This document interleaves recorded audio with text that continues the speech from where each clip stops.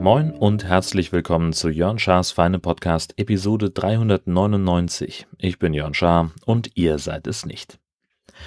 Äh, für Golf war mal wieder keine Zeit, aber für die Arbeit.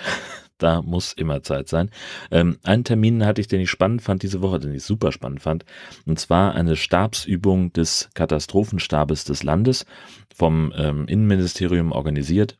Alles ganz spannend, alles ganz streng geheim und ähm, da ging es also darum, dass die ein, äh, ja, ein angenommenes Szenario durchgespielt haben, rein bei sich im Lagezentrum am Schreibtisch, um zu gucken, wie die Abläufe intern zwischen den ganzen Behörden und Hilfsorganisationen funktionieren.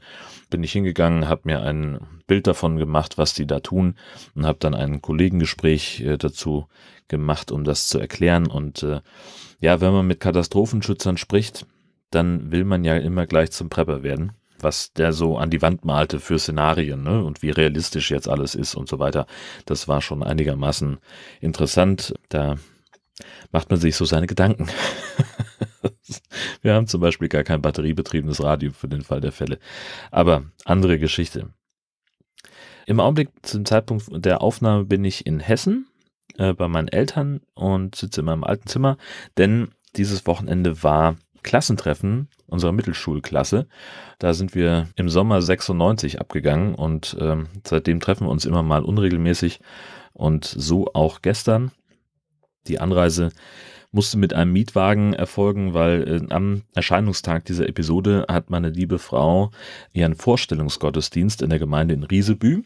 Also wenn ihr das noch rechtzeitig hört, 14.30 Uhr könnt ihr dann noch hinkommen, Kirche voll machen und entsprechend braucht sie das Auto.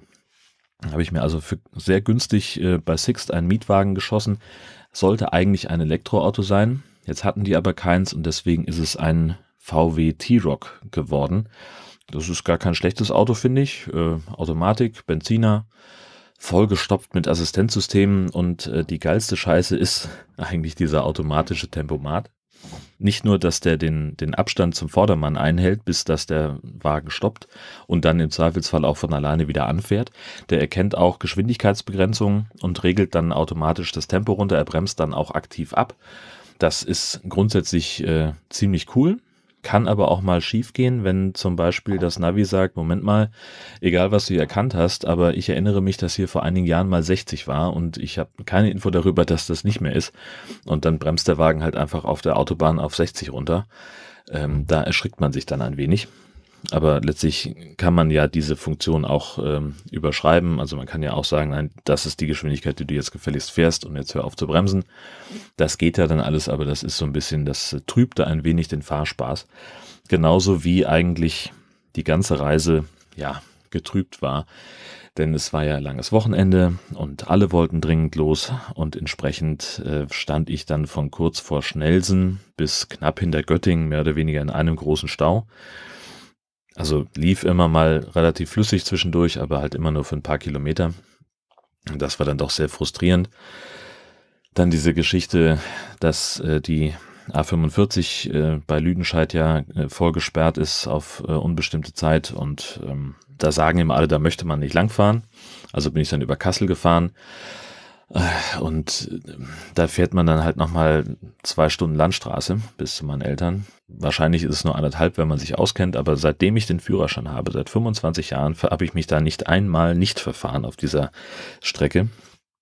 Und entsprechend war es auch diesmal so und die Reise war äh, dann doch zehn Stunden lang für eine Strecke, die etwas über 600 Kilometer beträgt. Das war ein bisschen nervig. Ja, ansonsten, was jetzt so am Wochenende passiert ist, war, äh, dass ich viel mit der Familie unternommen habe. Wir haben uns, sehen uns ja relativ selten. Äh, dann natürlich das Klassentreffen, das war auch eine richtig schöne Runde. Äh, haben wir nett zusammengesessen, sehr gut gegessen, uns richtig gut unterhalten. Das war alles sehr schön. Ja, dann hatte ich ja äh, neulich äh, erzählt von der Schasen Cloud, dass es also jetzt eine Nextcloud-Instanz auf meinem Webpack gibt. Und äh, ich muss gestehen, das nervt dann doch ein kleines bisschen, weil es nämlich am Handy nur eingeschränkt nutzbar ist.